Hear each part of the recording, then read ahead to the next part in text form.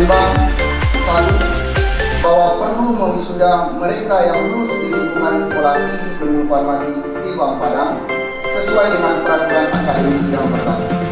pada seluruh perhatian dan kebanggaan kembali mempersembahkan wisudawan dan wisudawan